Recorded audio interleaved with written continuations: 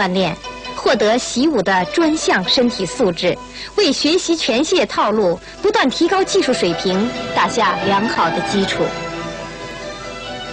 全燕说：“练拳不练腿，到老貌似鬼。”这就提醒大家要重视腿功的练习。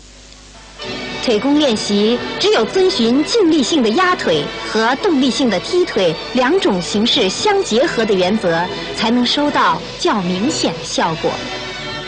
练习腿法时要做到三直一勾，就是腰要立直，腿要伸直，臂要撑直，脚要勾紧。踢腿时要做到快起凝落，达到快如风的要求。